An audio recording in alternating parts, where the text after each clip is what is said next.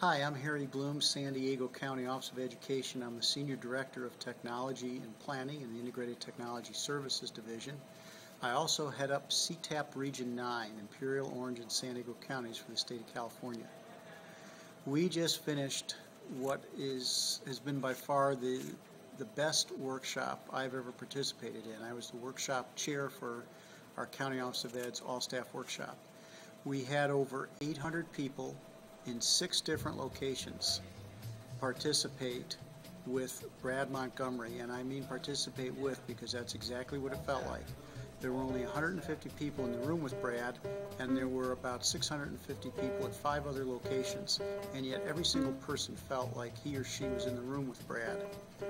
Uh, no one felt as if they really wanted to be somewhere else because this is the beginning of a school year, and we have a lot of uh, juvenile court community school teachers who are here who could easily have wanted to be in their classrooms writing lesson plans, getting class lists ready, etc but by the end of the day, everyone was incredibly glad that they had been here. The entire audience was energized. Everyone had fun. Some of us laughed till we cried. I was one of them. Uh, the team building activities were absolutely fantastic and seamless. It wasn't as if Brad spoke and then stopped and said, okay, now we're going to do team building activities. They were seamlessly built into the entire production. And what was even more spectacular is he talked for two and a half, he presented for over, and entertained for over two and a half hours.